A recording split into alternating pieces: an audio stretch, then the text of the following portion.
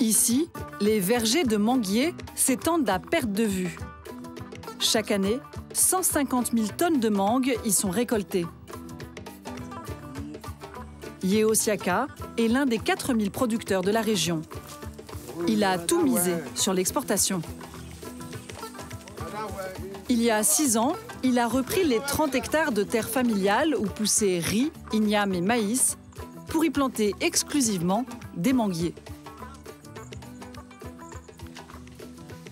C'est mieux que tu les mettes par ligne. Voilà, si vous prenez une ligne, la personne est sur la ligne, pour ne pas qu'on on revienne euh, repasser sur les mêmes lignes. Donc il commence par là, et voilà, vous allez comme ça sur les lignes, par ligne. Début avril, la campagne commence à peine. Les mangues doivent être cueillies une à une, à la main. Pour les plus hautes, les saisonniers font avec les moyens du bord.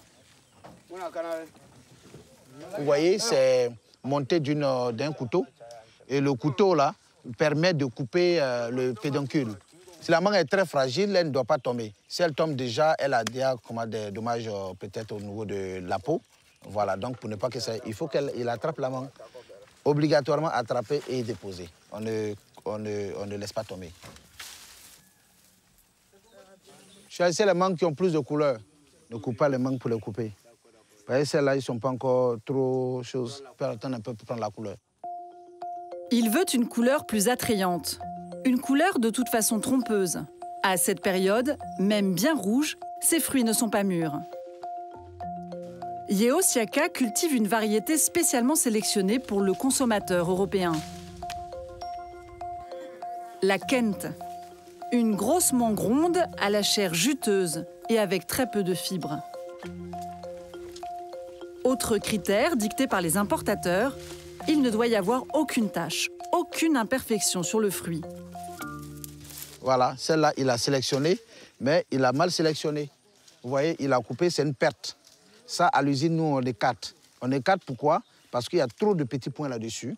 Et puis, vous voyez, il y a des taches ici. Mais cette mangue, elle est comestible. Ça ne pas dire qu'elle est pourrie. Elle n'est pas pourrie. Mais euh, elle n'a pas la qualité d'être exportée. Le client européen, il est très exigeant en termes de qualité. Ce qu'il voit, il faut que ce soit beau. Comme la saison de la cueillette ne dure que six semaines, il faut éviter de récolter trop de fruits pour rien. Malgré tout, sur les 900 tonnes que Yeo Siaka récolte chaque année, seuls les deux tiers vont pouvoir être exportés. Au final, 300 tonnes de mangue seront cueillies et jetées. Mais à 78 centimes d'euros le kilo, son business reste très rentable. À quelques kilomètres de là, la ville de Korogo.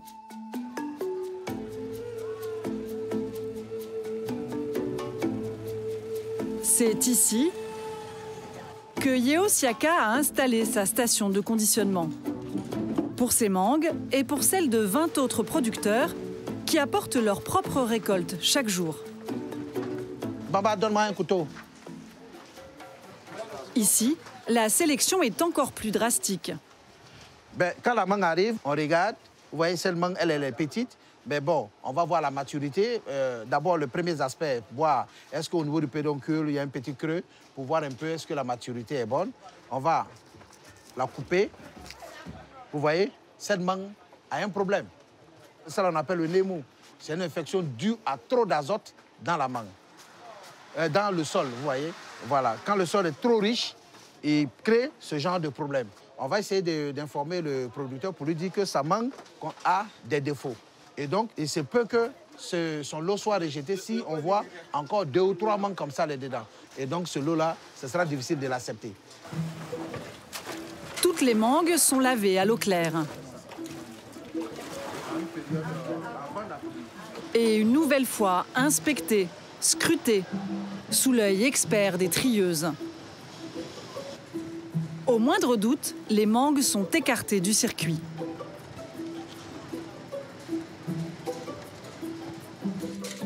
Dernière étape de la sélection, la calibreuse. Les fruits sont triés selon leur poids. Sous les 200 grammes, pas de ticket pour l'Europe. En moyenne, la mangue pèse le double, 400 grammes. Chaque jour, à la sortie de l'usine, des récoltes entières sont rejetées. La mangue est si fragile qu'elle s'abîme même pendant le transport jusqu'ici. Et comme nous sommes dans une zone où il y a beaucoup de poussière, la poussière étant là-dessus, les deux mangues se frottant, hein, avec euh, un peu d'humidité, elles dégradent un peu l'aspect de la mangue. Et cette mangue-là ne peut pas aller. On préfère laisser cela ici. Ce jour-là, Yeo Siaka refuse presque une tonne de mangue à ce producteur. Dans la mangue, ça arrive. C'est un fruit, voilà. Donc, euh, il est fragile à la fois. Parfois on gagne, parfois bon, on perd. Il faut accepter ça. Notre businessman ne prend aucun risque. Il ne faut surtout pas déplaire aux importateurs européens. Tous ces fruits, en parfait état, vont être vendus à perte sur le marché local. En Côte d'Ivoire, la mangue est un fruit ordinaire qui pousse un peu partout. Impossible alors d'écouler tous les fruits bannis du marché européen.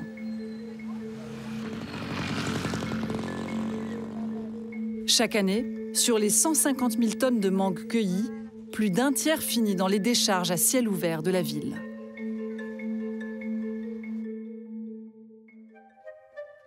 Pour les heureux élus, c'est le début d'un très long voyage. 10 heures de route en camion frigorifique jusqu'à Abidjan. Là-bas, les plus mûrs prendront l'avion, les autres le bateau pour 15 jours de mer jusqu'en Europe.